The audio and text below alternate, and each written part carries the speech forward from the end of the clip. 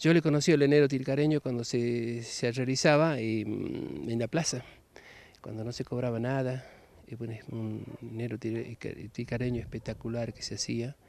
Eh, nada que ver, ¿no es cierto?, tanto tiempo que ha pasado, y nada que ver con este que, enero tilcareño que, hemos tenido, ha visto en este enero pasado.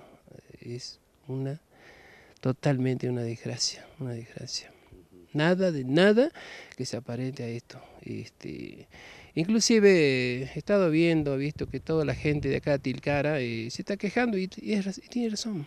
Tiene razón, porque es así, no, no, gente no, no, no vino y toda la gente de Tilcara, que gente que está para, prepara sus cosas para vender, vive de eso. Hay mucha gente que no tiene un trabajo fijo y con esas ventas que se, que se tiene y aprovechan las temporadas altas, como para vender sus cositas y eso es para, para, para qué sé yo, para pasar eh, eh, la temporada, digamos, 15, 20 días, 30 días, un mes, no sé, y eso para paliar esa eh, parte de economía, no es para que se haga rico.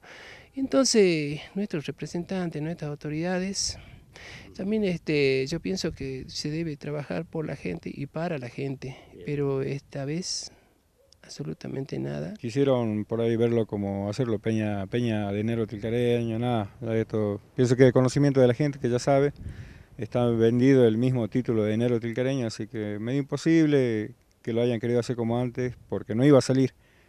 Esto acá hay un solo culpable, de quien vendió los derechos del año pasado, con todos los cómplices, y Ricardo Romero con, con el señor este Pedraza. Entonces yo digo, todo mal, la gente esperó con reserva hotelera, nada. Gente que emprendió hoteles, hospedajes, casas de familia, nada.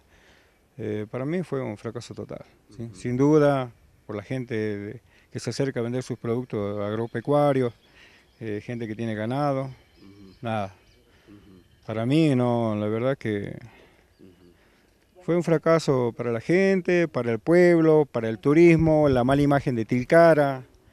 Eh, fue muy doloroso ver a Tilcara, nunca se lo vio en años. Muy poca afluencia turística este año, eh, se notó muchísimo la falta de dinero en todo lo que está pasando en el país, así que muy poca, muy poca afluencia turística. El municipio pudo haber hecho, tendría que haber hecho más, mm, o sea, en honor a lo que significa el enero tilcareño, ¿no?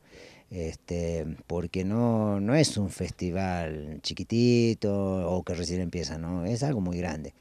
La verdad que ha sido muy pobre este año. La responsabilidad del intendente Romero, este, Ricardo Romero, porque al fin y al cabo este, lo que se organizó el año pasado en, en contraposición a lo que se organizó este año, nada que ver y hubiese estado muy bueno, muy lindo que lo, ya que lo organizaba el municipio este año, que sea superior al año pasado, ¿sí? ya que eh, los empresarios privados, eh, bueno, mucha pompa, mucha pompa, pero no dejan nada de dinero al pueblo.